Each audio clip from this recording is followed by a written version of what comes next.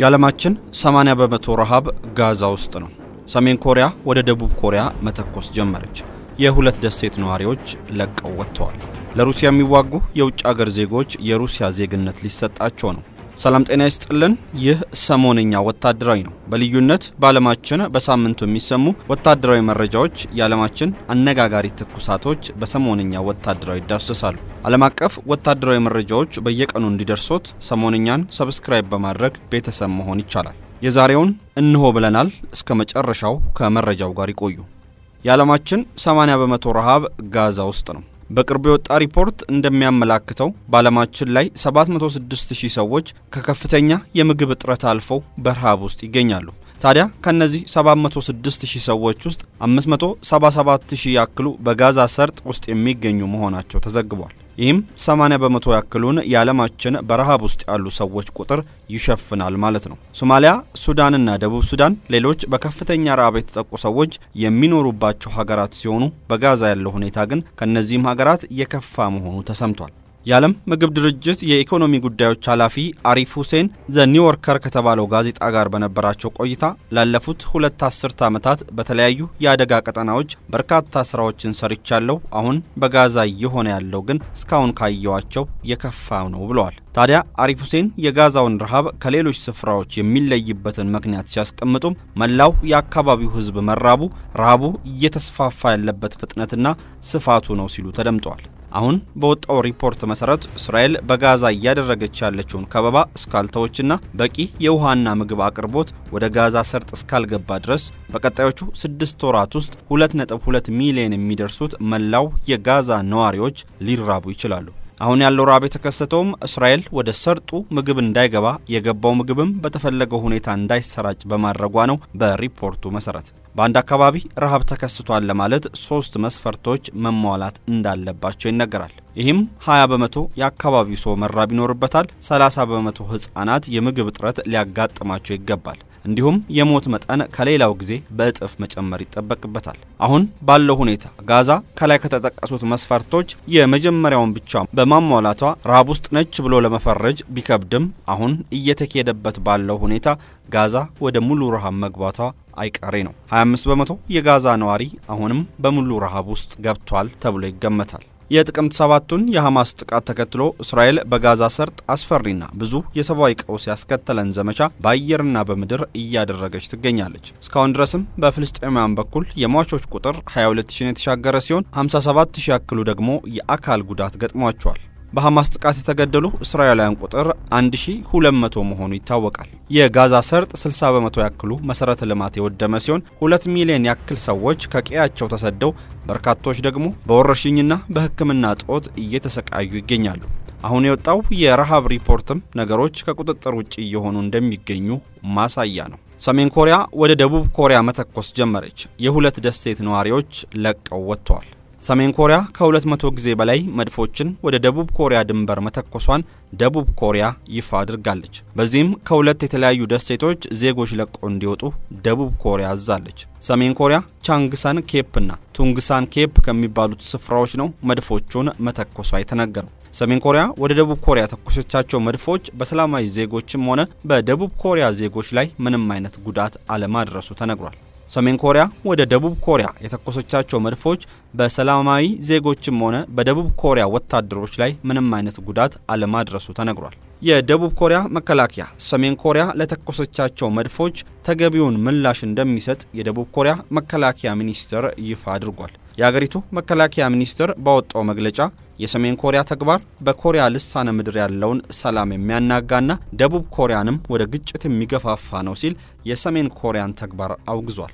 ሰሜን ኮሪያ ከጀመረችው አላስፈላጊ ትንኮሳ እንድትቆጠብ ደቡብ ኮሪያ ትዕዛዝ መሰል መልእክትንም አስተላልፋለች።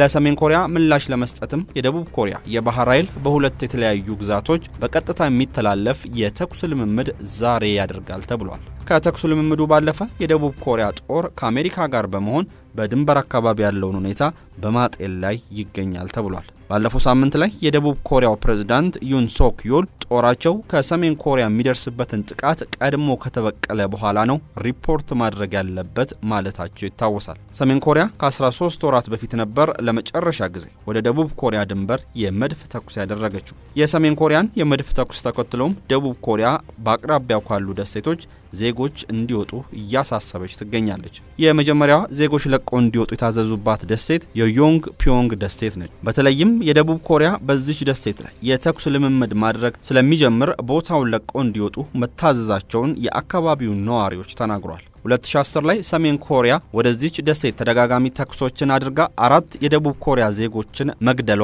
ይታወሳል። ይህም ከ1953 ወዲህ ከሰሜን ኮሪያ ደቡብ ኮሪያ ላይ የተፈጸመ ከባዱ ጥቃት ሆኖ ተመዝግቧል። በወቅቱም ደቡብ ኮሪያ የተኩስ ልምምድ በደሴቱ ስታደርግ ወደ ድንበሬ ተኩሳለች በሚል ምክንያት ነው ሰሜን ኮሪያ ወደ ደቡብ ኮሪያ የተኮሰችው። የባዮንግየንግ ደሴት ዜጎችም በተመሳሳይ አካባቢውን ለቀው እንዲወጡ በደቡብ ኮሪያ ጦር ታዘዋል። የሰሜን ኮሪያው መሪ ኪም ጆንግ ኡን በቅርቡ ለጦራቸው በሰጡት ትዕዛዝ ደቡብ ኮሪያና አሜሪካ የጦር ትንኮሳ ከፈጸሙ የሀገራቸው ጦር ሁለቱንም ሀገራት ያለአንዳች ትዕዛዝ ማጥቃት እንደሚችል መናገራቸው ይታወሳል። በሌላ በኩል የሰሜን ኮሪያ የቅርብ ወዳጅ የሆነችው ቻይናም በጉዳዩ ላይ መግለጫን ሰጥታለች። የቻይና የውጭ ጉዳይ ሚኒስትር ቃል አቀባይ ዋንግ ዌንቢን እንደተናገሩት አሁን ባለው ሁኔታ ሁሉም የሚመለከታቸው አካላት ተረጋግተው እንዲቆዩ፣ ውጥረቱን የሚያባብሱ እርምጃዎችን ከመውሰድ እንዲቆጠቡ፣ የሁኔታዎች መባባስ እንዳይኖሩና ትርጉም ያለው ውይይት እንዲጀመር ሁኔታዎች እንደሚፈጠሩ ተስፋ እናደርጋለን ብለዋል። የሁለቱ ኮሪያዎች ግንኙነት ባለፉት አስር ዓመታት ውስጥ ዝቅተኛ የሚባለው ደረጃ ላይ የሚገኝ ሲሆን ነገሮች አሁን ካሉበት በላይ እንዳይባባሱም ያሰጋል። ሰሜን ኮሪያ በህዳር ወር ላይ በተሳካ ሁኔታ የስለላ ሳተላይትን ወደ ህዋ ያመጠቀች ሲሆን እጅግ ከባድ የተባለውን የባላስቲክ ሚሳኤልንም በዚህ ወር ሞክራለች።